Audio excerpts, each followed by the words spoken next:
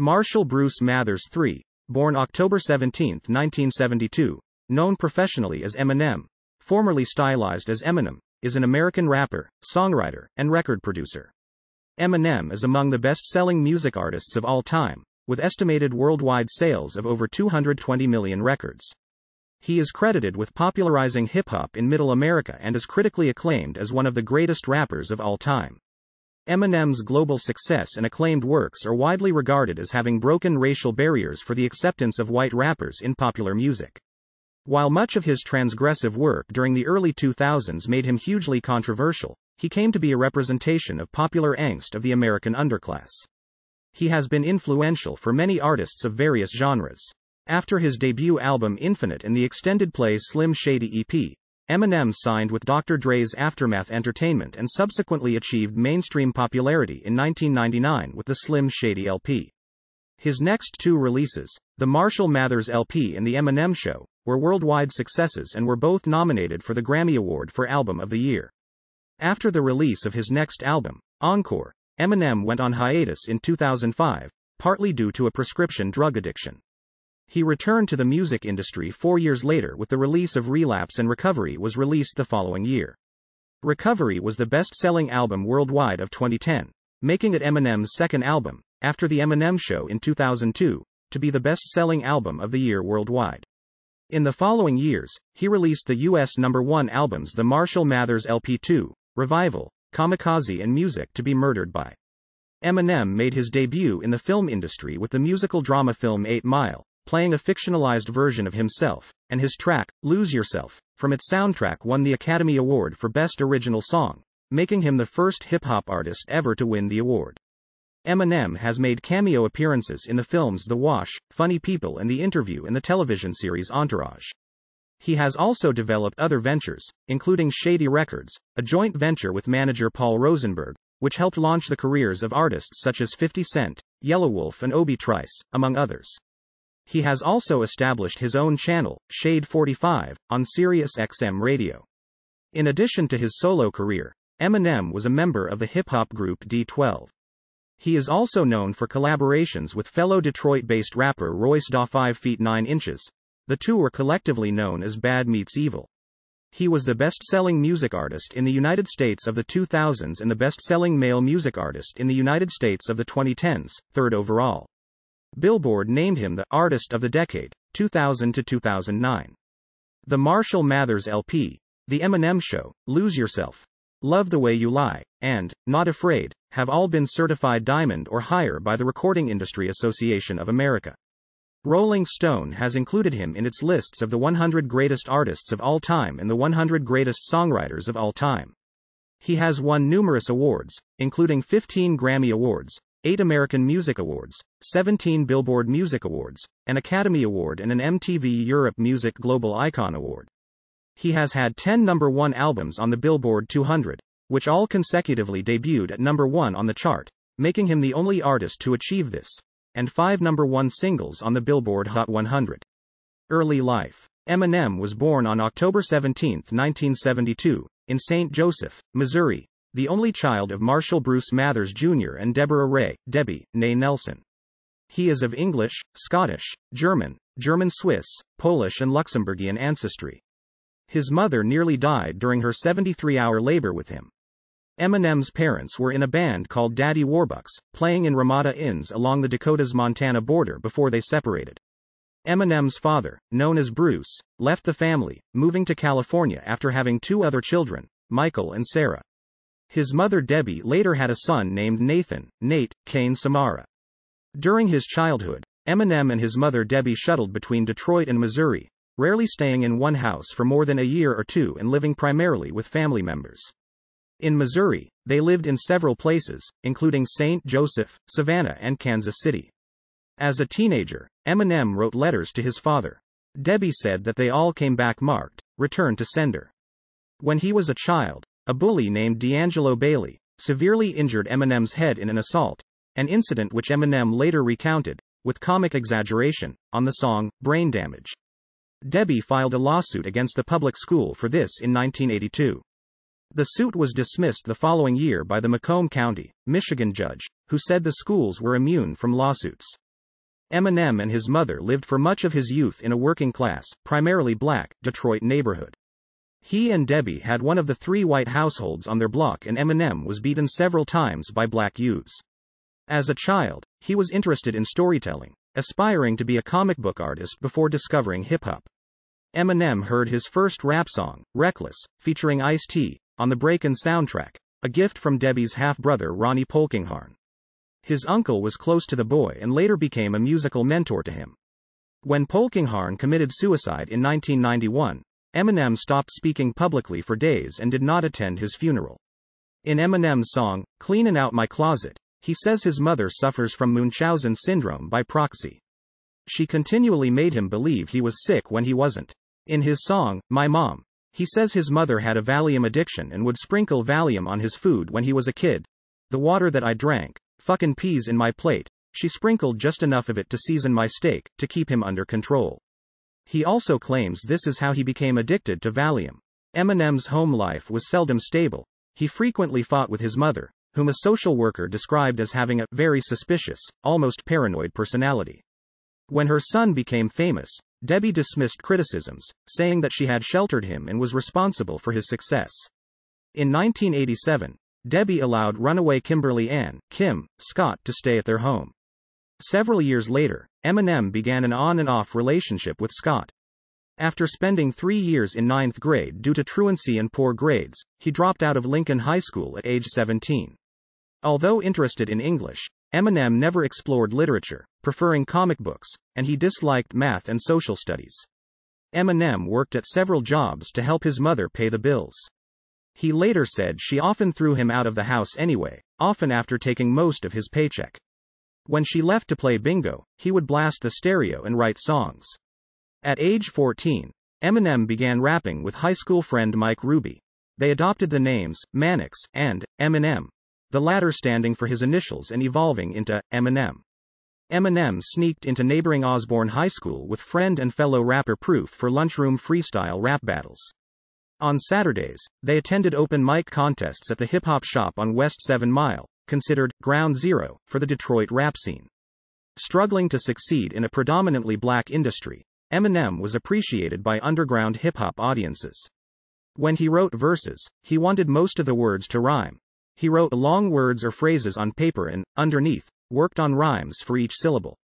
Although the words often made little sense, the drill helped Eminem practice sounds and rhymes. Career 1988 to 1997. Early career Infinite and Family Struggles in 1988, he went by the stage name MC-MM and formed his first group New Jacks and made a self-titled demo tape with DJ Butterfingers. In 1989, they later joined Bassmint Productions who later changed their name to Soul Intent in 1992 with rapper Proof and other childhood friends. They released a self-titled EP in 1995 featuring Proof. Eminem also made his first music video appearance in 1992 in a song titled Doodah Dippity by Champtown. Later in 1996, Eminem and Proof teamed up with four other rappers to form the Dirty Dozen, D12, who released their first album Devil's Night in 2001. Eminem had his first run in with the law at age 20, when he was arrested for his involvement in a drive-by shooting with a paintball gun. The case was dismissed when the victim did not appear in court. Eminem was soon signed to Jeff and Mark Bass's FBT Productions and recorded his debut album Infinite for their independent web entertainment label. The album was a commercial failure upon its release in 1996. One lyrical subject of Infinite was his struggle to raise his newborn daughter, Haley Jade Scott Mathers, on little money. During this period, Eminem's rhyming style, primarily inspired by rappers Nas, Esham and Az, lacked the comically violent slant for which he later became known. Detroit disc jockeys largely ignored Infinite and the feedback Eminem did receive. Why don't you go into rock and roll? Led him to craft angrier, moodier tracks. At this time, Eminem and Kim Scott lived in a crime ridden neighborhood and their house was robbed several times. Eminem cooked and washed dishes for minimum wage at Gilbert's Lodge, a family style restaurant at St. Clair Shores. His former boss described him as becoming a model employee, as he worked 60 hours a week for six months after Haley's birth. He was fired shortly before Christmas and later said, It was, like, five days before Christmas, which is Haley's birthday. I had, like, $40 to get her something. After the release of Infinite, his personal problems and substance abuse culminated in a suicide attempt. By March 1997, he was fired from Gilbert's Lodge for the last time and lived in his mother's mobile home with Kim and Haley.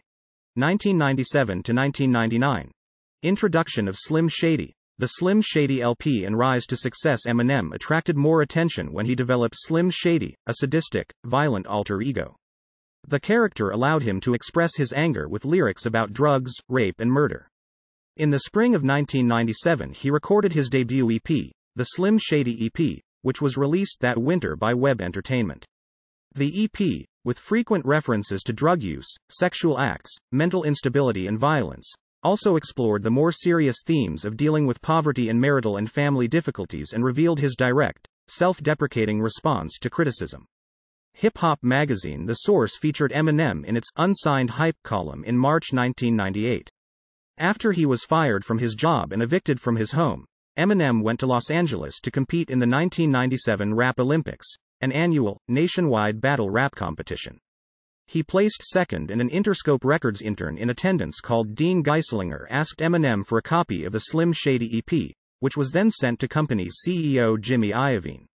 Iovine played the tape for record producer Dr. Dre, founder of Aftermath Entertainment and founding member of hip hop group NWA Dre recalled, In my entire career in the music industry, I have never found anything from a demo tape or a CD.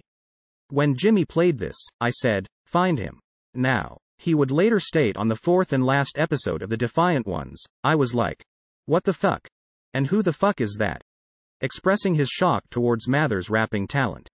Although his associates criticized him for hiring a white rapper, he was confident in his decision. I don't give a fuck if you're purple. If you can kick it, I'm working with you. Eminem had idolized Dre since listening to NWA as a teenager and was nervous about working with him on an album. I didn't want to be starstruck or kiss his ass too much. I'm just a little white boy from Detroit. I had never seen stars, let alone Dr. Dre. He became more comfortable working with Dre after a series of productive recording sessions. Eminem released the Slim Shady LP in February 1999. Although it was one of the year's most popular albums, certified triple platinum by the end of the year, he was accused of imitating the style and subject matter of underground rapper Cage. The album's popularity was accompanied by controversy over its lyrics. In 97 Bonnie and Clyde, Eminem describes a trip with his infant daughter when he disposes of his wife's body and in Guilty Conscience, which encourages a man to murder his wife and her lover. Guilty Conscience marked the beginning of a friendship and musical bond between Dr. Dre and Eminem. The label mates later collaborated on a number of hit songs, Forgot About Dre, and What's the Difference, while also providing uncredited vocals on The Watcher, from Dr. Dre's album 2001, Bitch Please 2, from the Marshall Mathers LP, Say What You Say, from The Eminem Show, Encore, Curtains Down, from Encore and Old Time's Sake, and Crack a Bottle, from Relapse and Dre made at least one guest appearance on each of Eminem's Aftermath albums. The Slim Shady LP has been certified quadruple platinum by the RIAA. 1999 to 2003. The Marshall Mathers LP in The Eminem Show recorded from 1999 to 2000. The Marshall Mathers LP was released in May 2000. It sold 1.76 million copies in its first week, breaking U.S. records held by Snoop Dogg's Doggy Style for fastest selling hip hop album and Britney Spears. Baby One More Time for fastest selling solo album. The first single from the album, The Real Slim Shady, was a success despite controversies about Eminem's insults and dubious claims about celebrities, for example, that Christina Aguilera had performed oral sex on Fred Durst and Carson Daly. In his second single, The Way I Am, he reveals the pressure from his record company to top, My Name Is. Although Eminem parodied shock rocker Marilyn Manson in the music video for My Name Is, they are reportedly on good terms. Manson is mentioned in The Way I Am, appeared in its music video and has performed a live remix of the song with Eminem. In the third single, Stan, which samples Dido's Thank You, Eminem tries to deal with his new fame, assuming the persona of a deranged fan who kills himself and his pregnant girlfriend, mirroring 97 Bonnie and Clyde from the Slim Shady LP. Q called Stan the third greatest rap song of all time, and it was ranked 10th in a top 40-charts.com survey. The song has since been ranked 296th on Rolling Stone's 500 Greatest Songs of All Time list. In July 2000, Eminem was the first white artist to appear on the cover of The Source.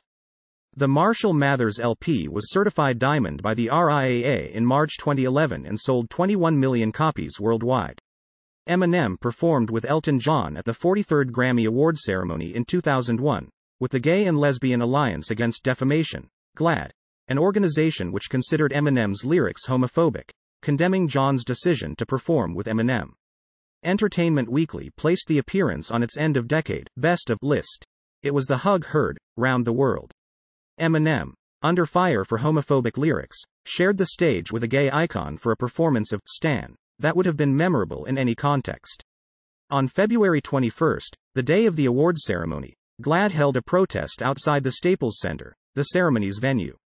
In 2001, Eminem appeared in the Up in Smoke tour with rappers Dr. Dre, Snoop Dogg, Xzibit, and Ice Cube and the Family Values Tour with Limp Bizkit, headlining the Anger Management Tour with Papa Roach, Ludacris and Xzibit.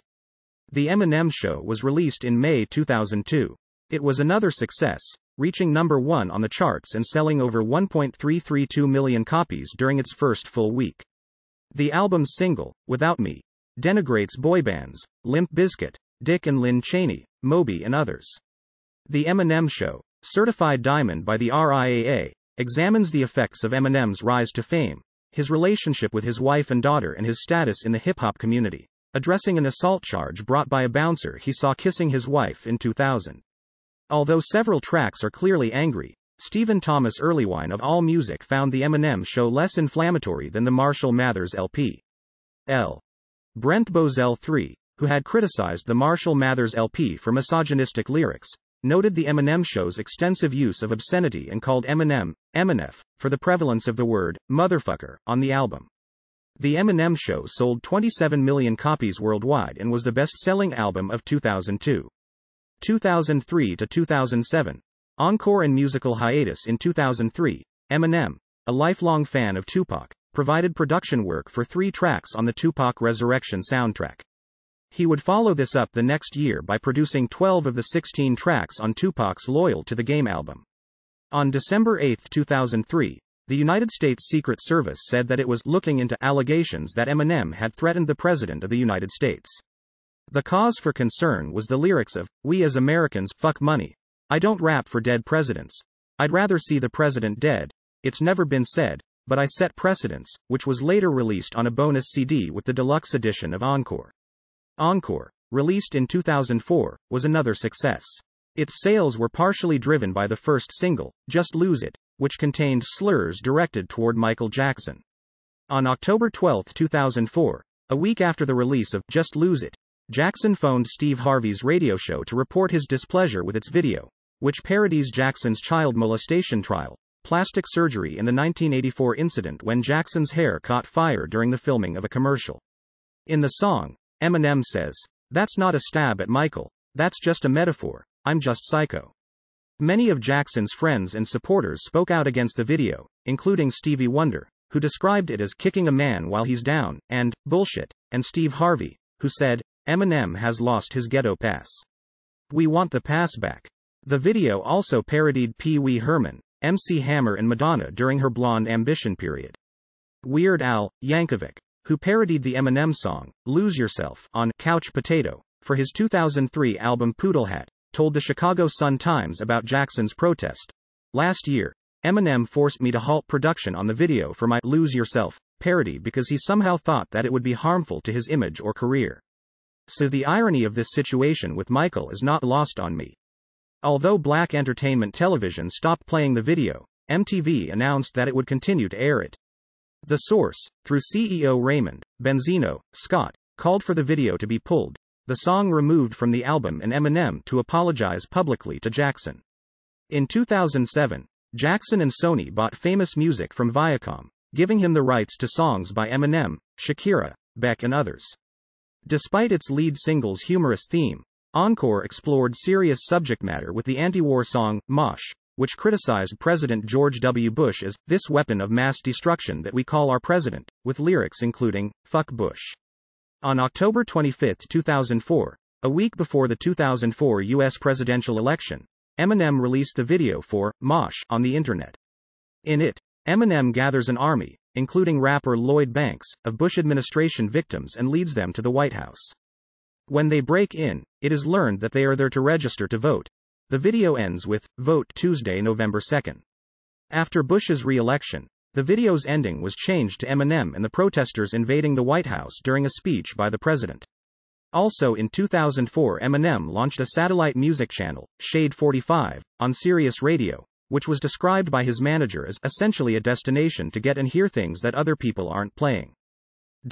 Eminem began his first U.S. concert tour in three years in the summer of 2005 with the Anger Management 3 tour, featuring 50 Cent, G Unit, Lil Jon, D12, Obi Trice, and The Alchemist. But in August, he cancelled the European leg of the tour, later announcing that he had entered drug rehabilitation for treatment of a dependency on sleep medication. Meanwhile, industry insiders speculated that Eminem was considering retirement, while rumors circulated that a double album titled The Funeral would be released. In July, the Detroit Free Press reported a possible final bow for Eminem as a solo performer, quoting members of his inner circle as saying that he would embrace the roles of producer and label executive. A greatest hits album, Curtain Call, The Hits, was released on December 6, 2005 by Aftermath Entertainment, and sold nearly 441,000 copies in the US in its first week, marking Eminem's fourth consecutive number one album on the Billboard Hot 200, and was certified double platinum by the RIAA. However, Eminem suggested that month on WKQI's Mojo in the Morning showed that he would be taking a break as an artist. I'm at a point in my life right now where I feel like I don't know where my career is going. Dot. This is the reason that we called it Curtain Call, because this could be the final thing. We don't know. Eminem was ranked 58th in Bernard Goldberg's 2005 book 100 People Who Are Screwing Up America. Goldberg cited a 2001 column by Bob Herbert of the New York Times, in which Herbert wrote, In Eminem's world, all women are whores and he is eager to rape and murder them, and cited the song, No One's Iller, from the Slim Shady EP as an example of Eminem's misogyny. In April 2006, Proof, who was Eminem's childhood friend, was murdered. Eight months later, Eminem released a compilation album titled Eminem Presents, the re up that featured Proof and other Shady Records artists. 2007 to 2009. Comeback, Relapse and Relapse. Refill in September 2007. Eminem called New York radio station WQHT during an interview with 50 Cent, saying that he was in limbo and debating about when or if he would release another album. I'm always working. I'm always in the studio.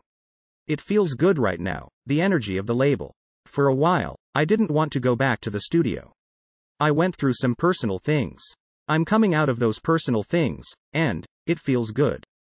Dot. Eminem appeared on his Shade 45 Sirius channel in September 2008, saying, Right now I'm kinda just concentrating on my own stuff, for right now and just banging out tracks and producing a lot of stuff. You know, the more I keep producing the better it seems like I get cuz I just start knowing stuff. Interscope confirmed that a new album would be released in spring 2009. In December 2008, Eminem provided more details about the album, entitled Relapse. Me and Dre are back in the lab like the old days, man. Dre will end up producing the majority of the tracks on Relapse. We are up to our old mischievous ways. Let's just leave it at that. Dot. According to a March 5, 2009 press release, Eminem would release two new albums that year. Relapse, the first, was released on May 19. Its first single and music video, We Made You, had been released on April 7.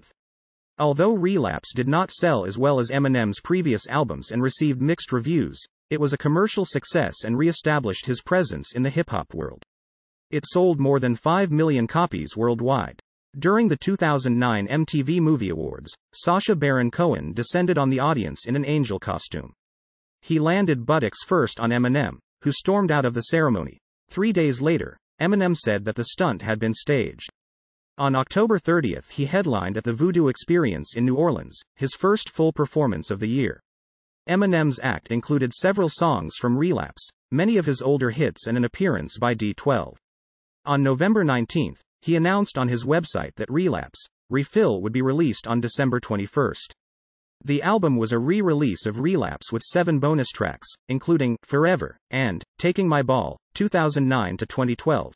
Recovery and Bad Meets Evil reunion on April 14, 2010. Eminem tweeted.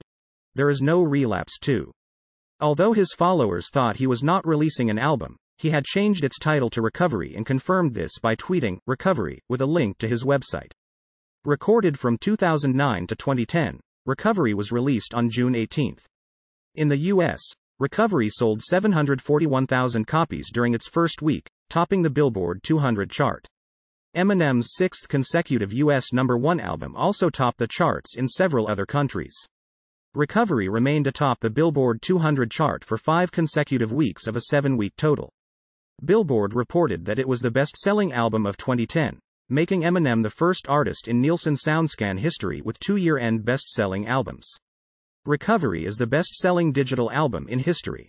Its first single, Not Afraid, was released on April 29 and debuted atop the Billboard Hot 100. Its music video was released on June 4. Not Afraid was followed by Love the Way You Lie, which debuted at number 2 before rising to the top. Although Love the Way You Lie was the best selling 2010 single in the United Kingdom, it did not reach number 1, the first time this has happened in the UK since 1969. Despite criticism of its inconsistency, Recovery received positive reviews from most critics. As of November 21, 2010, the album had US sales of 3 million copies. Recovery was the best selling album worldwide in 2010, joining 2002's bestseller The Eminem Show to give Eminem two worldwide year end number one albums. With Recovery, Eminem broke the record for the most successive U.S. number one albums by a solo artist. He appeared at the 2010 BET Awards, performing Not Afraid and Airplanes, Part 2, with B.O. B and Keyshia Cole. Later that year, he performed at the Activision E3 concert. In June, Eminem and Jay Z announced they would perform together in Detroit and New York City, at concerts called the Home and Home Tour. The first two concerts quickly sold out, prompting an additional show in each city. Bet called Eminem the number one rapper of the 21st century. He opened the 2010 MTV Video Music Awards on September 12, performing Not Afraid and Love the Way You Lie, with Rihanna singing the choruses. Due to the success of Recovery in the Home and Home tour, Eminem was named the 2010 hottest MC in the game by MTV and MC of the Year by the online magazine Hip Hop DX. He and Rihanna again collaborated on Love the Way You Lie, Part 2, the sequel of their hit single. Unlike the original, Rihanna is the lead vocalist and it is sung from the female perspective. In December 2010, the Great Eminem Recovery was number one on Billboard's Top 25 Music Moments of 2010. He appeared at the 2011 Grammy Awards on February 13, performing Love the Way You Lie, Part 2, with Rihanna and Adam Levine and I Need a Doctor, with Dr. Dre and Skylar Grey. That month it was announced that Spacebound would be the fourth single from Recovery, with a music video featuring former porn actress Sasha Grey. The video was released June 24 on the iTunes Store. In 2010, Eminem again began collaborating with Royce da 5 feet 9 inches on their first EP as Bad Meets Evil. The duo formed in 1998. The EP, Hell, the sequel, was released on June 14, 2011. Eminem was featured on Royce da 5 feet 9 inches S, Writer's Block, released on April 8, 2011. On May 3, they released the lead single, Fast Lane, from their upcoming EP and a music video was filmed. In March 2011, within days of each other, The Eminem Show and the Marshall Mathers LP were certified diamond by the RIAA. Eminem is the only rapper with two diamond certified albums. With more than 60 million likes, he was the most followed person on Facebook, outscoring Lady Gaga, Justin Bieber, Rihanna, and Michael Jackson.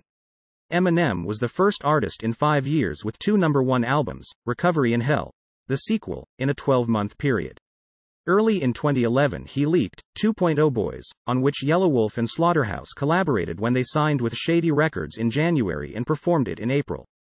Bad Meets Evil released their next single, Lighters, on July 6 and its music video in late August. On August 6, Eminem performed several songs from throughout his career at Lollapalooza with the artists who had been featured on each song. 2012 to 2014.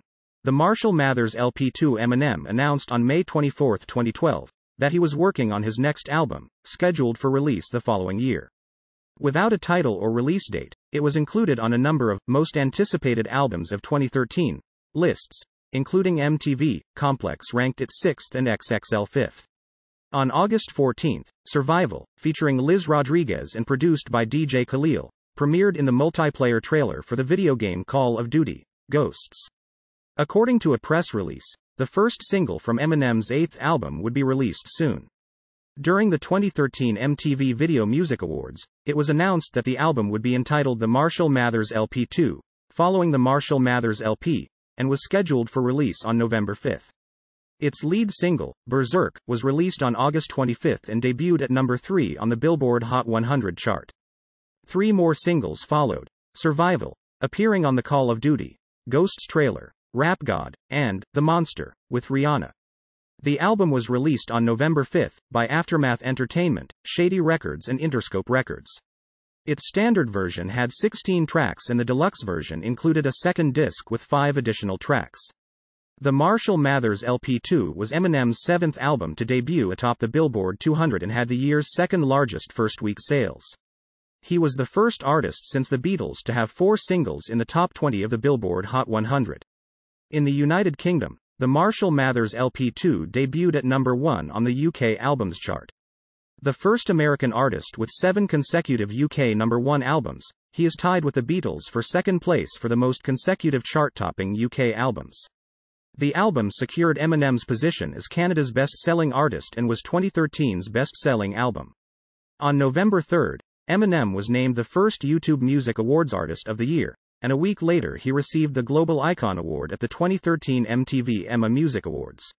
On June 10, it was announced that Eminem was the first artist to receive two Digital Diamond certifications, sales and streams of 10 million and above, by the RIAA, for Not Afraid and Love the Way You Lie. On July 11 and 12, Eminem played two concerts in Wembley Stadium. At the 57th Grammy Awards, he received Best Rap Album Award for the Marshall Mathers LP2 and Best Rap, Sung Collaboration, with Rihanna, for The Monster, 2014 to 2017. Shady 15 and Southpaw in the summer of 2014. Eminem and Rosenberg began using the hashtag ShadyXV on social networking sites, and Eminem wore a t shirt with the hashtag on stage. This was later revealed to be the name of an upcoming Shady Records compilation. Shortly afterwards, the first single from the album, Guts Over Fear, featuring singer-songwriter Sia Furler, was released and the album's tracklist was released on October 29. Shady Records released a cipher to promote the album, in which Eminem did a 7-minute freestyle. Detroit vs. Everybody, the album's second single, with Eminem, Dej Loaf, Royce da 5 feet 9 inches, Danny Brown, Big Sean and Trick Trick, was released on November 11. Shady 15, released on November 24 during Black Friday week, consists of one greatest hits disc and one disc of new material by Shady Records artists such as D12, Slaughterhouse, Bad Meets Evil, and Yelawolf. The album debuted at number 3 on the Billboard 200 chart, with first week sales of 138,000 copies in the United States. The official Eminem box set, a career spanning 10 disc vinyl box set, was released on March 12, 2015. The set includes seven of Eminem's eight studio albums, excluding Infinite, the 8 Mile soundtrack, the compilation Eminem presents, the re up and the greatest hits collection Curtain Call, the hits. Early in the year, it was announced that he would appear on Tech N9 Ne's, Speedom, Worldwide Choppers 2. The song, also featuring Krizz Kaliko, was released on April 20. Eminem also appeared on Yelawolf's Best Friend, the single from Love Story. Eminem is the executive producer of the soundtrack on the sports drama Southpaw, with Shady Records.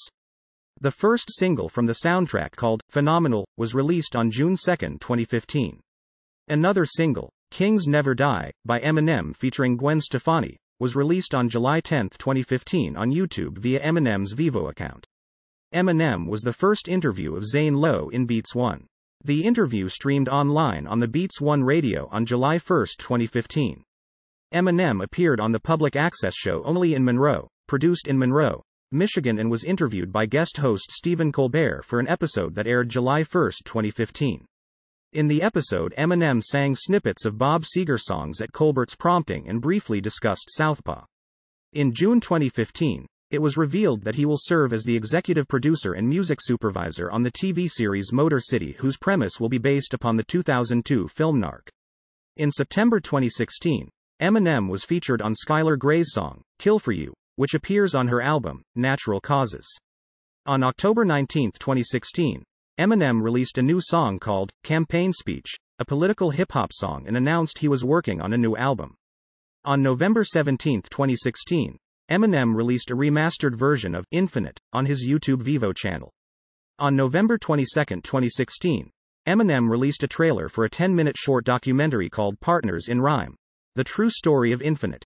2017 to 2019. Revival and Kamikaze in February 2017. Eminem appeared on No Favors, a track from Big Sean's album I Decided.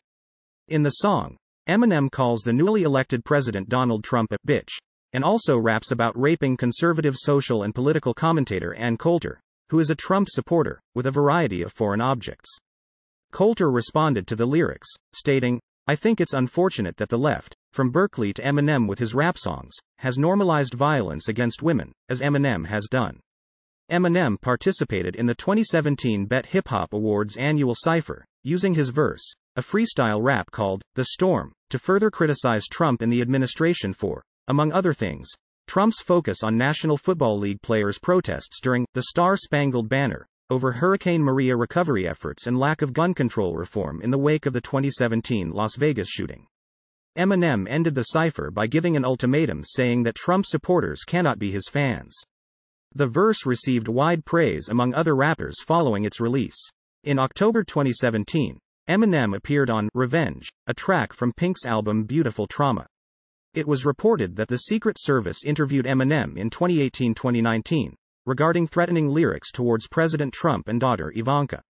Starting in late October 2017, Eminem and Paul Rosenberg began teasing what fans speculated was the title of a new album titled Revival, in the form of advertisements for a fake medication of the same name. Later in November, the first single, Walk on Water, was released, which featured Beyonce. The song was first performed by Eminem at the 2017 MTV Europe Music Awards on November 12, featuring Skylar Grey. He appeared on Saturday Night Live on November 18, performing Walk on Water, Stan, and Love the Way You Lie with Skylar Grey. On November 28, Dr. Dre posted a video confirming the album's release date as December 15, 2017. On December 8, Eminem released a promotional single titled Untouchable, which featured a sample from the duo Cheech and Chong. Despite an online leak of the album two days prior, Revival was released as planned on December 15. On January 5, 2018, the second single, River, was released, which featured Ed Sheeran.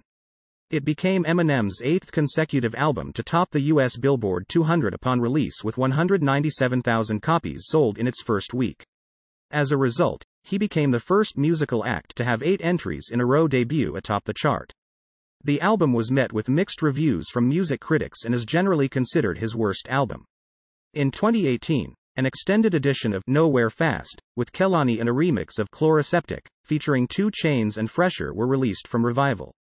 On August 31, 2018, Eminem released his 10th studio album and first surprise album Kamikaze, making it his second full length studio album in eight months. The album topped the Billboard 200, making it his ninth album in a row to do so, after selling 434,000 units in the first week. The album was released as a response to criticism of Revival, his worst rated album. The album was promoted with three singles Fall, Venom, from the 2018 film of the same name, and Lucky You. During the October 15, 2018 episode of the late night television show Jimmy Kimmel Live, Eminem performed the song, Venom, at the 103rd floor of the Empire State Building in New York City as a promotion of the album. On December 1, Eminem released an 11 minute freestyle to his YouTube channel titled Kickoff.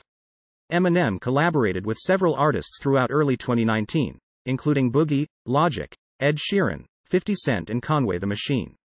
On February 23, 2019, to celebrate its 20th anniversary, Eminem released a reissue of the Slim Shady LP, including acapellas, instrumentals, and radio edited versions of tracks from the album. On June 25, 2019, the New York Times Magazine listed Eminem among hundreds of artists whose material was reportedly destroyed in the 2008 Universal Studios fire. 2019 present.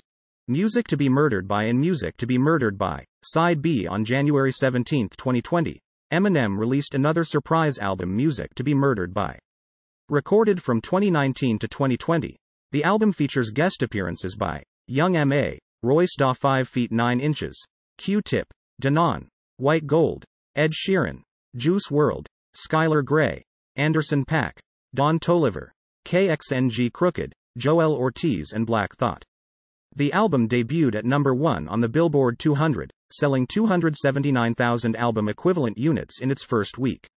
Subsequently, Eminem became the first artist to have 10 consecutive albums debut at number 1 in the US and one of six artists to have released at least 10 US number 1 albums. Music critics praised Eminem's lyrical abilities and the improved production after Kamikaze, while criticism directed towards the album's formulaic song structure, lack of innovation and shock value.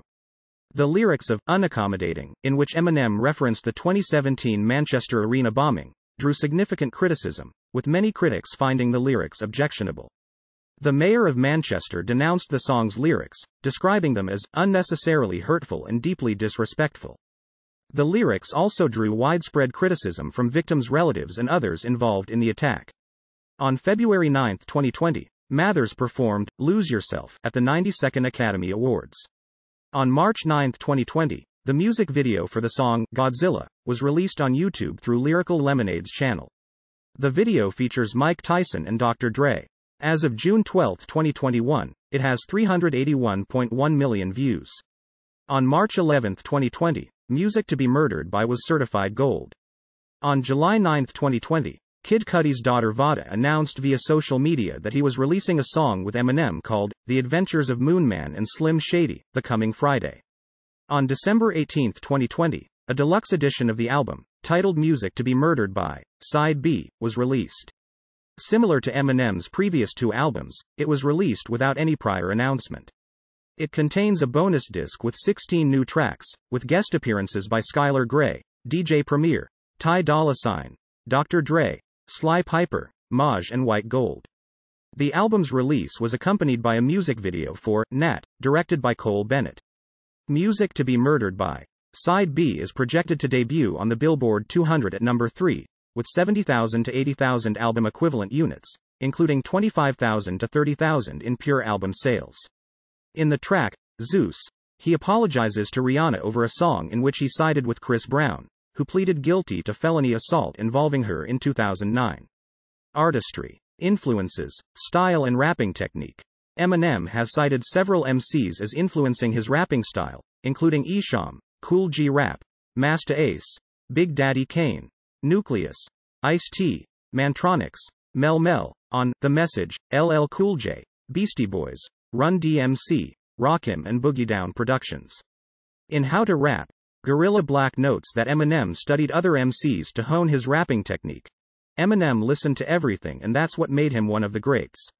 In the book, other MCs also praise aspects of his rapping technique varied, humorous subject matter, connecting with his audience, carrying a concept over a series of albums, complex rhyme schemes, bending words so they rhyme, multisyllabic rhymes, many rhymes to a bar, complex rhythms, clear enunciation, and the use of melody and syncopation. Eminem is known to write most of his lyrics on paper, documented in The Way I Am, taking several days or a week to craft lyrics, being a workaholic, and stacking vocals. Examples of hip hop subgenres that Eminem's music has been described as include horrorcore, comedy hip hop, and hardcore hip hop. Eminem also incorporates rap rock into his music and has cited rock acts during the 1970s and 1980s, such as Jimi Hendrix and Led Zeppelin, as influences in his music. Alter egos. Eminem uses alter egos in his songs for different rapping styles and subject matter. His best known alter ego, Slim Shady, first appeared on the Slim Shady EP and was in the Slim Shady LP, the Marshall Mathers LP, The Eminem Show, Encore, Relapse, the Marshall Mathers LP2 and Kamikaze. In this persona, his songs are violent and dark, with a comic twist. Eminem downplayed Slim Shady on Recovery because he felt it did not fit the album's theme. Another character is Ken Kaniff, a homosexual who pokes fun at Eminem's songs. Ken was created and originally played by fellow Detroit rapper Aristotle on the Slim Shady LP, where Kaniff makes a prank call to Eminem. An argument after the album's release prompted Eminem to use the Kaniff character on Marshall Mathers and later albums, except Encore and Recovery. Aristotle, angry with Eminem's use of his character, released a mixtape in his Kaniff persona ridiculing him. Collaborations and productions Although Eminem usually collaborates with Aftermath Entertainment and Shady Records rappers such as Dr. Dre, 50 Cent, D12, Obi Trice and Yelawolf, he has also worked with Redman, Kid Rock, DMX, Lil Wayne, Missy Elliott, Jay Z, Drake, Rihanna, Nicki Minaj, Xzibit, Method Man, Jadakiss, Fat Joe, Sticky Fingaz, T.I. and Young Jeezy. Eminem rapped a verse in a live performance of Busta Rhymes' Touch It remix at the 2006 BET Music Awards. He appeared on Akon's single, Smack That, from Konvicted, Lil Wayne's hit, Drop the World, and My Life, the lead single from 50 Cent Street, King Immortal. Eminem was the executive producer of D12's first two albums, Devil's Night and D12 World, Obi Trice's Cheers and Second Rounds on Me and 50 Cent's Get Rich or Die Tryin' in the Massacre. He has produced songs for other rappers such as Jadakiss, Welcome to D Block, Jay Z's, Renegade, and Moment of Clarity, Lloyd Banks, On Fire, Warrior Part 2, and Hands Up, Tony Yayo's, Drama Setter, Trick Tricks, Welcome to Detroit, and Xzibit's My Name, and Don't Approach Me. Most of the Eminem show was produced by Eminem and his longtime collaborator, Jeff Bass, and Eminem co produced Encore with Dr. Dre. In 2004, Eminem was co-executive producer of Tupac's posthumous album Loyal to the Game with Shakur's mother, Afeni. He produced the UK number one single, Ghetto Gospel, featuring Elton John. The Cross, from the Nas album God's Son, and eight tracks on Obi Trice's 2006 album Second Rounds on Me, also appearing on There They Go. Eminem produced several tracks on Trick Tricks the Villain, appearing on Who Want It, and produced four tracks on Cashis' 2013 album The County Hound 2. Eminem is considered unusual in structuring his songs around the lyrics, rather than writing to beats. One exception was Stan, which came from an idea and scratch track produced by the 45 King. After doing little production on Relapse and Recovery, Eminem produced a significant portion of the Marshall Mathers LP2. He said about producing his own music, Sometimes, I may get something in my head, like an idea or the mood of something that I would want, and I'm not always gonna get that by going through different tracks that other people have made. They don't know what's in my head. I think maybe it helps, a little bit, with diversity, the sound of it, but also, I would get something in my head and want to be able to lay down that idea from scratch.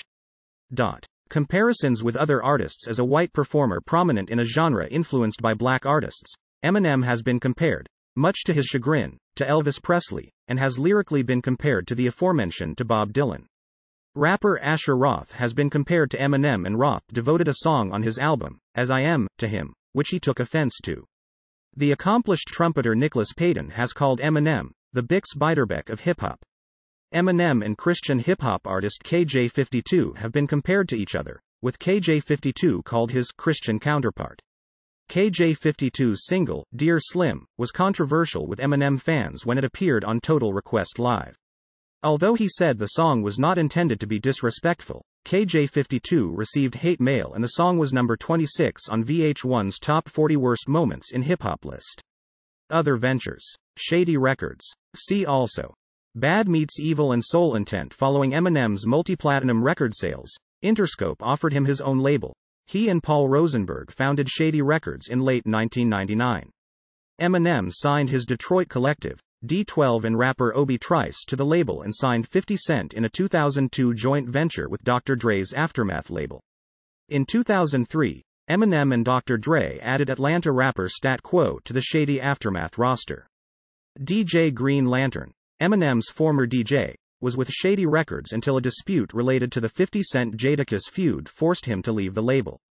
The Alchemist is currently Eminem's tour DJ. In 2005, Eminem signed another Atlanta rapper, Bobby Creekwater, and West Coast rapper Cashis to Shady Records. On December 5, 2006, the compilation album Eminem Presents, The Re Up was released on Shady Records. The project began as a mixtape, but when Eminem found the material better than expected, he released it as an album.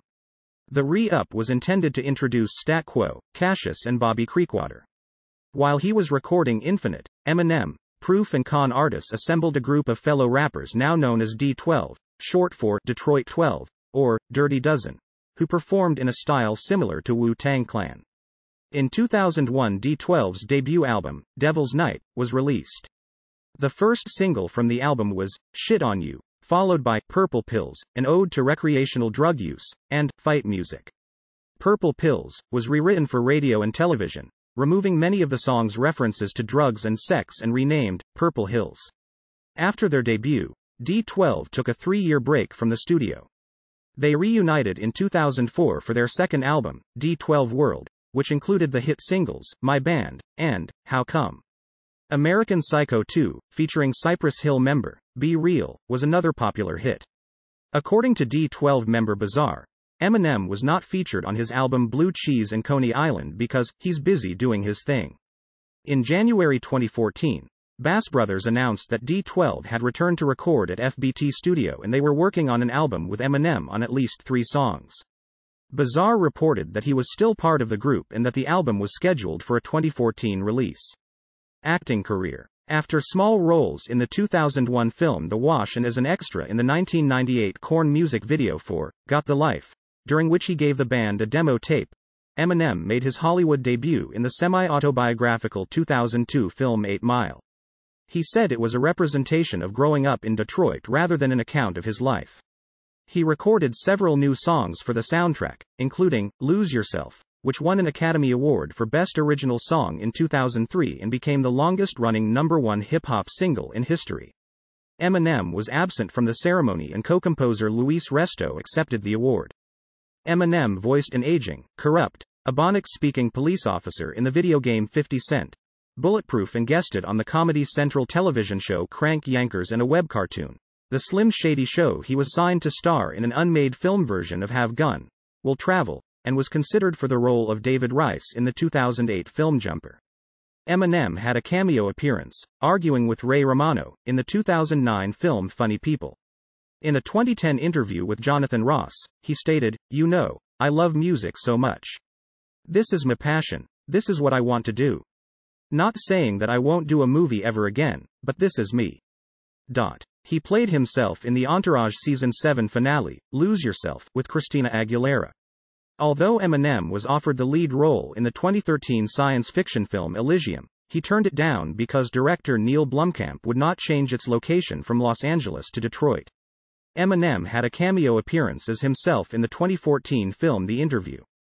During an interview with the main character, Dave Skylark, James Franco, Eminem satirically comes out as gay. Books and Memoirs. On November 21, 2000, Eminem published Angry Blonde, a nonfiction book featuring a commentary of several of his own songs, along with several previously unpublished photographs. On October 21, 2008, his autobiography The Way I Am was published. Detailing his struggles with poverty, drugs, fame, heartbreak, and depression, it includes stories of his rise to fame, commentary about past controversies, and original lyric sheets from Stan and The Real Slim Shady. An autobiography of Eminem's mother, My Son Marshall, my Son Eminem, was published the following month, in which Debbie Nelson describes her childhood and adolescence, meeting Eminem's father and her son's rise to, and struggles with, fame. Advertising Eminem appeared in two commercials which were shown during Super Bowl 45. In the first, a one minute spot for Lipton's brisk iced tea, he is a claymation figure. In the second, a two minute Anno Domini, the longest in Super Bowl history at the time, for the Chrysler 200, Eminem drives through Detroit, with Lose Yourself as the soundtrack to his show at the Fox Theater. Charity work. He established the Marshall Mathers Foundation to aid disadvantaged youth. The foundation works in conjunction with a charity founded by Norman Yatooma, a Detroit attorney. During the COVID 19 pandemic in 2020, Eminem donated Mom Spaghetti, a reference to a line from his song, Lose Yourself, to healthcare workers at Henry Ford Health System in Detroit. Additionally, he donated a pair of Jordan 4 Retro Eminem Carhartt shoes, which are rare, to be raffled off with proceeds going to COVID 19 relief. Royalty Flow. In September 2017, a company called Royalty Flow, a subsidiary of Royalty Exchange, filed to issue an IPO under SEC Regulation A to raise money with the intent of purchasing either 15% or 25% of Eminem's former production teams, the Bass Brothers, aka FBT Productions, share of his sound recording royalties. Politics. Eminem has expressed his political views in multiple songs. However, instead of endorsing presidential candidates, he has primarily focused on criticizing candidates. The first was Mosh, which was released in 2004, a few weeks before the 2004 United States presidential election and heavily criticized then President George W. Bush. However, he did not directly endorse John Kerry in the song, either. He wouldn't express political views again until the 2016 election when he released campaign speech, which criticized presidential candidate Donald Trump. The following year, he again criticized Trump in a freestyle titled, The Storm. In the freestyle, he expressed support for former San Francisco 49ers quarterback Colin Kaepernick in the national anthem protests and expressed his displeasure for any of his fans that support Trump. In his song, Darkness, he heavily references the 2017 Las Vegas mass shooting and, at the end of the music video, he expresses his support for gun control. The week before the 2020 United States presidential election, he approved his song, Lose Yourself, to be used in a campaign video for Joe Biden. Personal life, family, Eminem has been scrutinized, both as a rapper and personality. He was married twice to Kimberly Ann, Kim, Scott. He met Kim in high school while he stood on a table with his shirt off rapping LL Cool J's, I'm Bad. Kim and her twin sister Dawn had run away from home. They moved in with Eminem and his mother when he was 15 and he began an on and off relationship with Kim in 1989. Mathers and Scott were married in 1999 and divorced in 2001. Their daughter Haley was born on December 25, 1995. Although Eminem told Rolling Stone in 2002, I would rather have a baby through my penis than get married again, he and Kim briefly remarried in January 2006. He filed for divorce in early April, agreeing to joint custody of Haley. Eminem also has custody of his sister in law Dawn's daughter, and Kim's child from another relationship. In early 2010, Eminem denied tabloid reports that he and Kim had renewed their romantic relationship. However, in the same statement, his representative also confirmed that they now maintain a friendly relationship. He had legal custody of his younger half brother Nathan. In his 2013 song, Headlights, Eminem apologized to and reiterated his love for his mother. Health problems Eminem has spoken publicly about his addiction to prescription drugs, including Vicodin, Ambien, and Valium. According to friend and fellow D12 member Proof, Eminem first straightened out in 2002. During the production of 8 Mile, Eminem, working 16 hours a day, developed insomnia. An associate gave him an Ambien tablet which knocked him out, encouraging him to obtain a prescription. This was Eminem's first experience of drug addiction, which would affect him for several years. Near the end of production on Encore, he would just go into the studio and goof off, with a pocketful of pills. Eminem began taking the drugs to feel normal, taking a ridiculous amount. I could consume anywhere from 40 to 60 Valium in a day.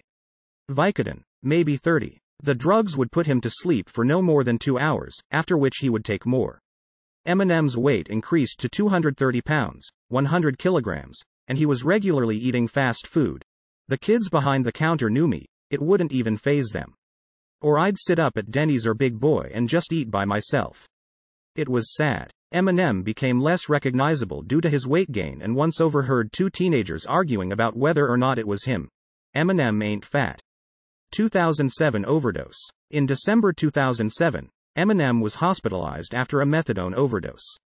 He had first bought from a dealer who had told him it was just like Vicodin and easier on your liver. He continued to buy more until he collapsed in his bathroom one night and was rushed to the hospital. Doctors there told him he had ingested the equivalent of four bags of heroin and was about two hours from dying. After missing Christmas with his children, Eminem checked himself out of the facility, weak and not fully detoxed. He tore the meniscus in his knee after falling asleep on his sofa, requiring surgery. After he returned home, he had a seizure. His drug use ramped right back to where it was before, within a month. Eminem began to attend church meetings to get clean, but after he was asked for autographs, he sought help from a rehabilitation counselor. He began an exercise program that emphasized running. Elton John was a mentor during this period, calling Eminem once a week to check on him. Eminem has been sober since April 20, 2008. 2020 Home Invasion. On April 5, 2020, Matthew Hughes broke into Eminem's house, reportedly breaking a kitchen window with a paving stone. Eminem woke up with Hughes standing behind him and he said that he was there to kill him. Hughes was on a $50,000 cash bond and was charged with first degree home invasion and malicious destruction of property. Feuds. Eminem has had lyrical feuds during his career with many recording artists, including Christina Aguilera, Machine Gun Kelly, Everlast, Cage, Insane Clown Posse, Will Smith, Milkbone, Mariah Carey, Nick Cannon, Limp Bizkit, Benzino, Ja Rule, Vanilla Ice, Canibus, Jermaine Dupri, Joe Budden, Lord Jamar and Charlemagne the God. Insane Clown Posse. The feud began in 1997 when Eminem was throwing a party to promote his debut EP, the Slim Shady EP. He gave Violent J a flyer which stated, featuring appearances by Esham, Kid Rock, and ICP. Bruce asked why Eminem was promoting a possible Insane Clown Posse appearance without first contacting the group. Eminem explained, It says, maybe. Maybe you will be there. I don't know. That's why I'm asking you right now. You guys coming to my release party, or what? Bruce, upset over not being consulted, responded, Fuck no, I ain't coming to your party. We might have, if you would have asked us first, before putting us on the fucking flyer like this.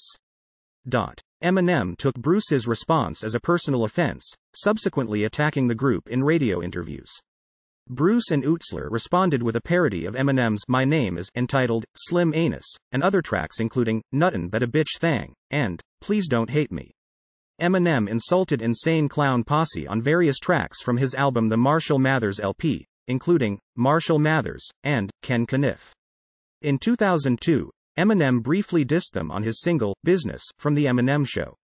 Insane Clown Posse talked about the feud being squashed in an interview with MTV, saying that Proof squashed the conflict in 2005, which was followed by a bowling game between members of D12 and Psychopathic Records. Violent J stated that, he contacted us and we had a bowling game, it was really cool. We're something different. They could have skipped over us and said forget them, but they included us and said let's squash it.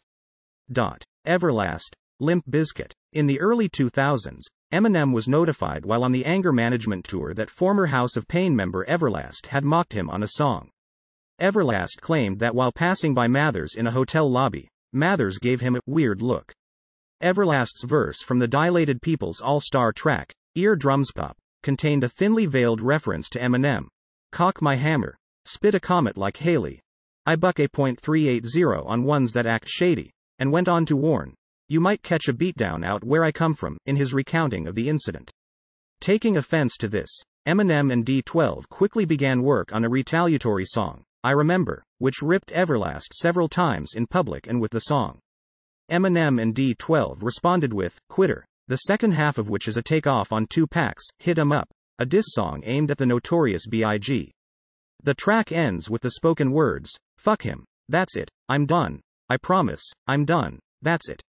It was reported that longtime friends of Eminem, Limp Bizkit, were meant to be featured on the song, but Fred Durst cancelled at the last moment. The record continued its release without featuring Limp Bizkit, causing the Everlast Mathers dispute to continue. In a TRL interview, Limp Bizkit member, DJ Lethal, made a statement that if Mathers and Everlast were to fight in real life, Everlast would win. This angered Eminem to the point of rage and an insulting track aimed at both Everlast and Limp Bizkit, namely Durst and Lethal, appeared on D12's mainstream debut, Devil's Night, as the track, Girls. Recently, things seem to have settled and Eminem has no longer been heard insulting Everlast or Limp Bizkit. It is currently unknown if the dispute is resolved. Canibus. The animus between Canibus and Eminem started when Canibus and Wyclef Jean confronted Eminem and asked him if he ghost wrote the track, The Ripper Strikes Back, by LL Cool J. Eminem denied that he wrote the track. After he was confronted, he said Canibus was rude to him. Two years later, Canibus went to see Eminem on the Warped Tour and apologized to him for his reactions and asked him if he still wanted the track. Eminem agreed, but when he heard the track, Fuck You, from Canibus album 2000 BC, he thought the track was directed at him and LL Cool J shortly afterwards. Eminem released his second album, the Marshall Mathers LP, and Canibus decided to continue the story of Eminem's single, Stan. He titled the track, You Didn't Care, and it continued to take shots at Eminem. Eminem decided to take more shots at Canibus on his album The Eminem Show on tracks such as Say What You Say, When the Music Stops, and Square Dance. Even though Canibus did not immediately respond to the tracks, Eminem continued to take shots at him, including a track Eminem was featured on with Xzibit, titled My Name, from Xzibit's album Man vs. Machine. On November 19, 2002, Canibus responded with the track titled Dr. CPHD. Over a year later, Eminem released the track Can I Bitch? He attacked Canibus in a humorous manner. Since then, the hostilities have cooled down, but Canibus tried to provoke a re ignition of it when he leaked a track titled Airstrike, Pop Killer, that featured vocal parts of D12, where Canibus takes shots at Eminem and his deceased friend Proof. D12 member Swift responded to the record publicly and had the following to say about DZK, another rapper featured on the track. He asked us to do a track with him when he already was teamed up with Canibus without us knowing. They dissed M, took our verses, and added them to the song, so they can bring traffic and make it seem like we were turning on M. As a desperate attempt to be heard after ducking and dodging M for seven years. It was a straight home move. Dot. Michael Jackson. The music video for Just Lose It generated controversy by parodying singer Michael Jackson's child molestation trial, plastic surgery, in an incident in which Jackson's hair caught on fire while filming a Pepsi commercial in 1984. It was banned on the BET channel, after complaints from Benzino and others, but was later reinstated, as critics of the ban argued that Nelly's Tip Drill video could be seen. Both were only seen on BET, uncut. However, MTV did not drop it and the video became one of the most requested on the channel. A week after the release of Just Lose It, Jackson called in to the radio show of Steve Harvey to report his displeasure with the video. I am very angry at Eminem's depiction of me in his video, Jackson said in the interview. I feel that it is outrageous and disrespectful. It is one thing to spoof, but it is another to be demeaning and insensitive. The singer continued, I've admired Eminem as an artist, and was shocked by this. The video was inappropriate and disrespectful to me, my children, my family, and the community at large.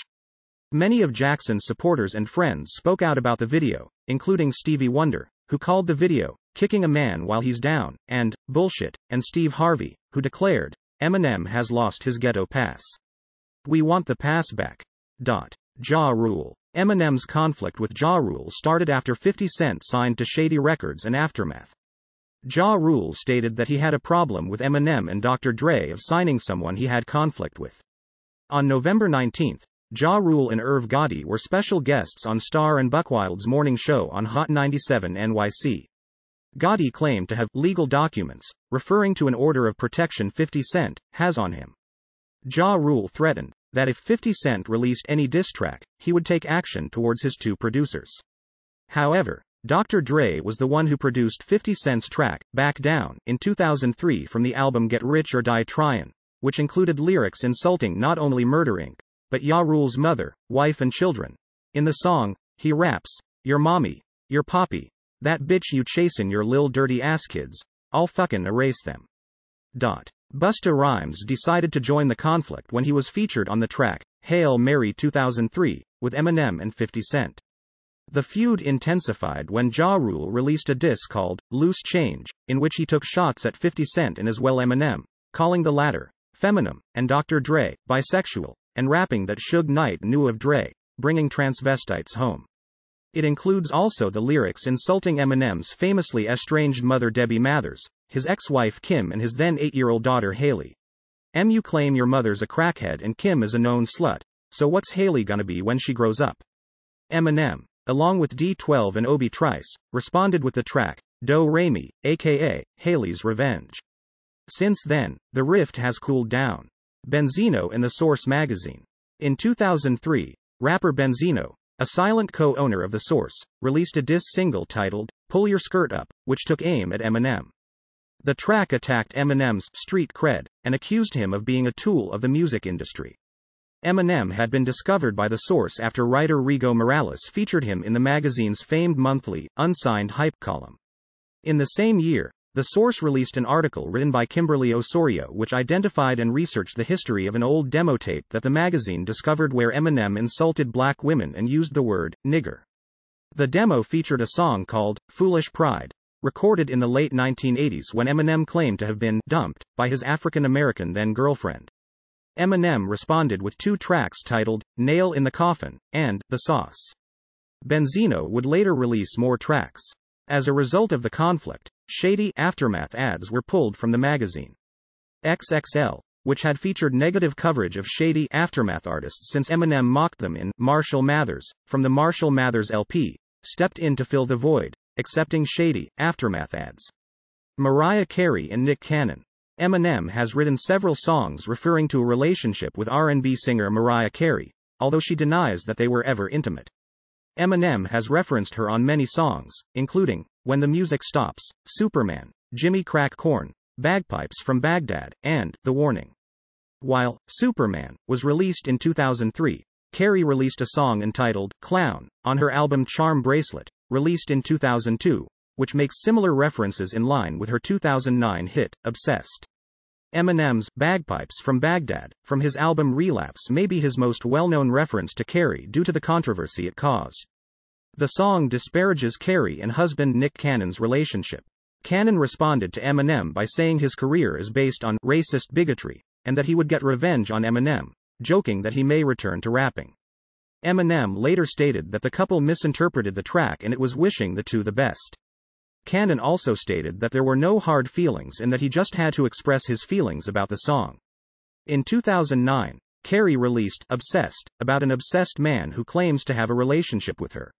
Cannon claimed that the song was not an insult directed at Eminem. However, Eminem responded in late July 2009 by releasing a track titled The Warning. It contained samples of voicemail recordings which Eminem claimed were left by Carey when the two were together. Eminem also hinted that he had other evidence of their relationship in his possession. A little over a year later in September 2010, Cannon responded with the song, I'm a Slick Rick, making fun of Eminem. Moby After the release of the Marshall Mathers LP, popular electronic music artist Moby began speaking out against the album's lyrics, citing references to misogyny and homophobia as unacceptable. Eminem responded back with several insulting lines about Moby in Without Me, the lead single off his next album The Eminem Show. In 2004, Moby praised Eminem for criticizing then U.S. President George W. Bush in the song, Mosh, a track from Encore. The feud has since ended. From Kamikaze. Throughout the album, lyrics criticize other musicians, primarily mumble rappers, and several have responded publicly. Eminem and rapper Machine Gun Kelly have had an ongoing feud for several years, and Kelly released a diss track in response to Not Alike, titled Rap Devil, on September 3. Both songs were produced by Ronnie J. Kelly continued the feud at a concert, calling it a battle between the past and the fucking future. The song's title refers to Eminem's Rap God, and Eminem went into the studio days later to record his own response, as did former D12 associate Bizarre.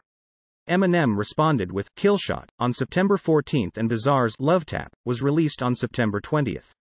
Killshot garnered 38.1 million streams on YouTube in its first 24 hours and over 80 million views in its first week, making it the most successful debut for a hip hop song and the third biggest debut in the platform's history. The track also debuted at number 3 on the Billboard Hot 100, making it Eminem's 20th top 10 hit on the Billboard Hot 100. Kelly has continued the feud publicly. Ja Rule responded on social media, reigniting a feud the two had 15 years prior. 6 9. Iggy Azalea, Joe Budden, Die Antwoord, Lupe Fiasco, and Lord Jamar have also responded publicly, with 6 9 releasing the skit, Legend, that raps over Eminem's Lose Yourself. Controversies. Allegations of homophobia Some of Eminem's lyrics have been considered homophobic, and an Australian politician attempted to ban him from the country. Eminem denies the charge, saying that when he was growing up, words such as faggot and queer were used generally in a derogatory manner and not specifically toward homosexuals. Eminem was accused yet again of using homophobic words in his lyrics in Rap God, and explained, I don't know how to say this without saying it how I've said it a million times. But that word, those kind of words, when I came up battle rappin' or whatever, I never really equated those words to actually mean homosexual. In 2018, Musicians criticized Eminem's use of the slur, faggot, to describe rapper Tyler, the creator on the song, Fall, including Dan Reynolds of Imagine Dragons, calling the rapper's language hateful, and Troye Sivan. Additionally, guest vocalist Justin Vernon distanced himself from the collaboration due to the message. However, Eminem is a friend of gay singer Elton John, and publicly supports gay rights. When asked in an interview with the New York Times about the subject of same sex marriage being legalized in his home state of Michigan, Eminem responded, I think if two people love each other, then what the hell? I think that everyone should have the chance to be equally miserable, if they want, explaining that his overall look on things is a lot more mature than it used to be. Dot. Legal issues In 1999, Eminem's mother sued him for $10 million, claiming he was slandering her on the Slim Shady LP. Litigation concluded in 2001, resulting in an award of $1,600 for her damages. On June 3, 2000, Eminem was arrested during an altercation with Douglas Dale at a car audio store in Royal Oak, Michigan, when he pulled out an unloaded gun and pointed it at the ground. The next day, in Warren, Michigan, he was arrested again for assaulting John Guerra in the parking lot of the Hot Rock Cafe when he saw him kissing his wife. Eminem recreated the Guerra assault in The Kiss on The Eminem Show. He pleaded guilty to possession of a concealed weapon and assault, receiving two years probation. However, Guerra's assault charge was dropped as part of the plea agreement. On July 7, 2000, Kim attempted suicide by slashing her wrists, later suing Eminem for defamation after describing her violent death in Kim. Sanitation worker D'Angelo Bailey sued Eminem for $1 million in 2001, accusing him of invading his privacy by publicizing information placing him in a false light in Brain Damage, a song that portrays him as a violent school bully. Although Bailey admitted picking on Eminem in school, he said he merely bumped him and gave him a little shove. The lawsuit was dismissed on October 20, 2003. Judge Deborah Servito, who wrote a portion of her opinion in rap like rhyming verse, ruled that it was clear to the public that the lyrics were exaggerated. On June 28, 2001, Eminem was sentenced to one year's probation and community service and was fined about $2,000 on weapon charges stemming from an argument with an employee of Psychopathic Records. On March 31, 2002, French jazz pianist Jacques Loussier filed a $10 million lawsuit against Eminem and Dr. Dre, claiming that the beat for Kill You was taken from his instrumental, Pulsion. Loussier demanded that sales of the Marshall Mathers LP be halted and any remaining copies destroyed. The case was later settled out of court. In 2006, Eminem was accused of assaulting Mia Jarbo, a resident of Royal Oak, Michigan, in the bathroom of a Detroit strip club, but was never charged. Two years later, in 2008, Jarbo sued Eminem for more than $25,000 in damages. In 2007, Eminem's music publishing company, 8 Mile Style, and Martin Affiliated sued Apple Inc. and Aftermath Entertainment, claiming that Aftermath was not authorized to negotiate a deal with Apple for digital downloads of 93 Eminem songs on Apple's iTunes. The case against Apple was settled shortly after the trial began, in late September 2009.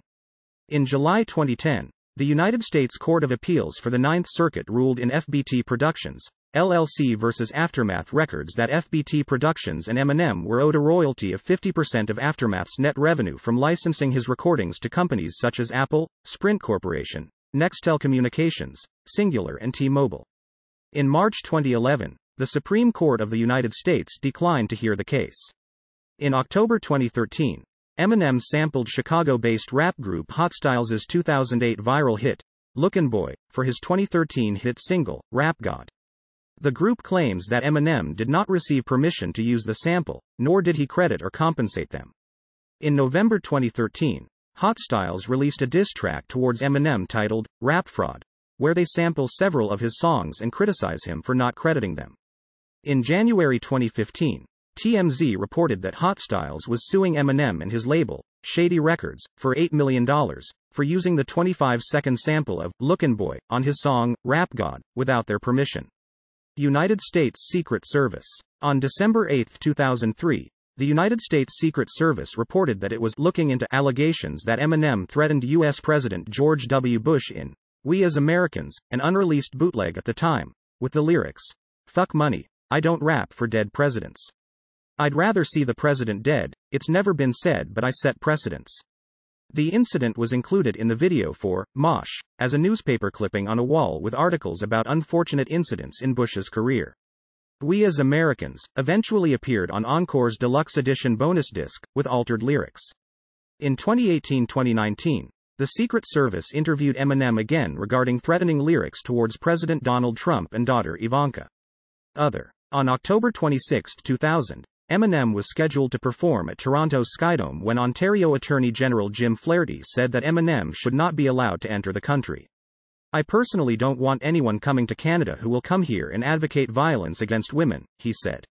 Flaherty also said that he was disgusted when he read the lyrics of Kill You, which includes the lines, Slut, you think I won't choke no whore, till the vocal cords don't work in her throat no more?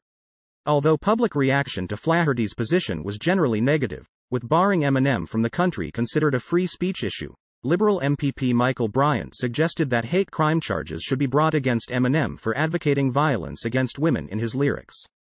Robert Everett Green wrote in a Globe and Mail editorial, being offensive is Eminem's job description. Eminem's Toronto concert went on as planned. Legacy. Credited for popularizing hip hop to a middle American audience, Eminem's unprecedented global commercial success and acclaimed works for a white rapper is widely recognized for breaking racial barriers for the acceptance of white rappers in popular music. Rising from rags to riches, Eminem's anger fueled music represented widespread angst and the reality of American underclass. With African Americans and Hispanic and Latino Americans developing the hip hop art form, Eminem's undisputed regard as one of the greatest rappers of all time and his prominence in a form of black music has led to him being regarded as an important figure of 21st century popular music. He has been greatly influential for artists of various genres. Stephen Hill, the then vice president of African American themed television network BET, Black Entertainment Television, said in 2002. In 2002, the BBC said that the perception of Eminem is a modern day William Shakespeare was comparable to the reception of American singer Bob Dylan. Not since Bob Dylan's heyday in the mid 1960s has an artist's output been subjected to such intense academic scrutiny as an exercise in contemporary soul searching. U.S. critics point to Eminem's vivid portraits of disenfranchised lives, using the stark, direct language of the street as an accurate reflection of social injustice. In addition, the BBC highlighted that, where parents once recoiled in horror to his music, there now seems a greater willingness to acknowledge a music that is striking such a chord among the American young, angry white underclass. Dan Ozzi of Vice highlighted that Eminem during the early 2000s was the one artist high school kids seemed to unanimously connect with. He represented everything high school years are about blind rage, misguided rebellion, adolescent frustration. He was like a human middle finger. An X-rated Dennis the Menace for a dial-up modem generation. Dot. Writing for Spin in 2002, rock critic Alan Light compared Eminem to the Beatles' John Lennon. Eminem is even starting to bear a resemblance to one of those rock icons. Marshall Mathers is becoming something like this generation's John Lennon. Lennon and Eminem were both subjects of pickets and protests. They both wrote songs about troubled relationships with their mothers. They both wrote about their strange public lives with their wives. They both wrote about how much they loved their kids.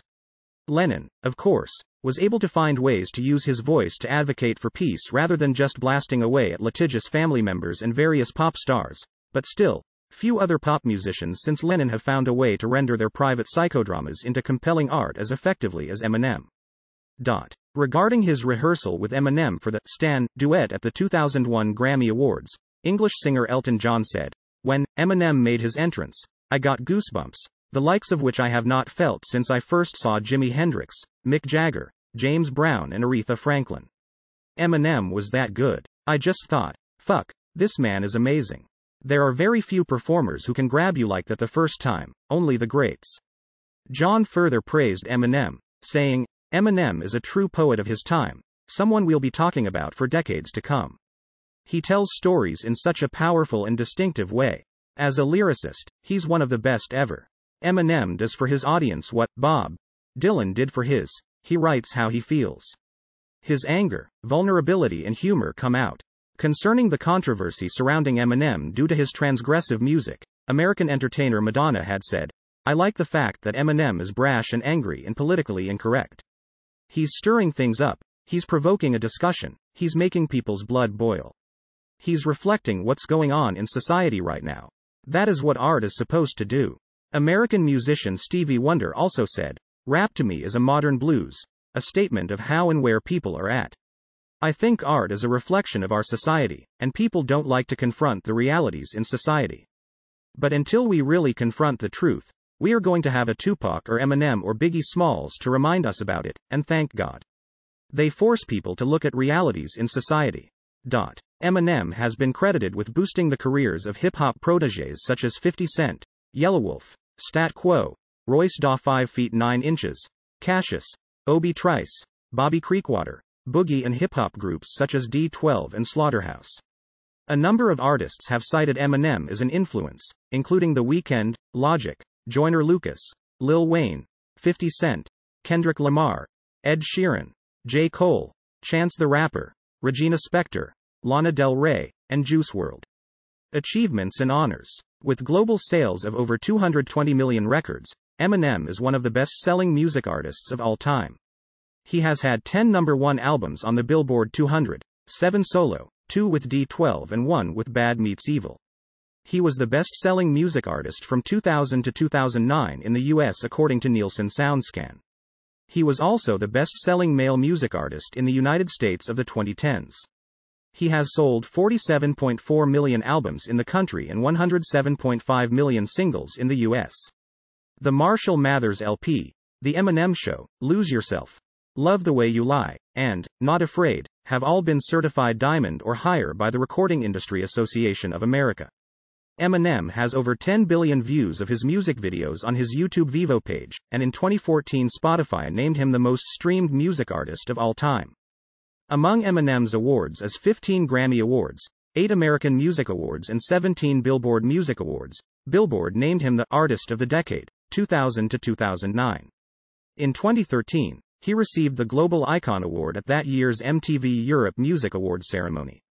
His success in 8 Mile saw him win the 2002 Academy Award for Best Original Song for his song, Lose Yourself, co written with Jeff Bass and Luis Resto, making him the first rapper to receive the award. He also won the MTV Movie and TV Awards for Best Actor in a Movie and Best Breakthrough Performance and the Critics' Choice Movie Award for Best Song for Lose Yourself. Eminem has also been included and ranked in several publications' lists. Rolling Stone included him in its list of the 100 greatest artists of all time and the 100 greatest songwriters of all time. He was ranked 9th on MTV's Greatest MCs of All Time list. He was ranked 13th on MTV's 22 Greatest Voices in Music list and 79th on the VH1 100 Greatest Artists of All Time lists. He was ranked 82nd on Rolling Stone's The Immortals list. In 2010, MTV Portugal ranked Eminem the seventh biggest icon in popular music history. In 2012, The Source ranked him sixth on their list of the top 50 lyricists of all time, while About.com ranked him seventh on its list of the 50 greatest MCs of our time, 1987 to 2007. In 2015, Eminem was placed third on the 10 best rappers of all time list by Billboard. In 2008, Vibe readers named Eminem the best rapper alive. In 2011, Eminem was labeled the King of Hip Hop by Rolling Stone based on an analysis of album sales, chart positions, YouTube views, social media following, concert grosses, industry awards, and critical ratings of solo rappers who released music from 2009 to the first half of 2011. Discography, studio albums, collaborative albums, concert tours, as a headliner, as a co headliner. This audio uses material from the Wikipedia article mnm.wikipedia.org slash wiki slash Eminem which is released under the license Creative Commons. Attribution Share Alike 3.0 Unported. CC by SA 3.0 creativecommons.org slash licenses slash by SA slash 3.0.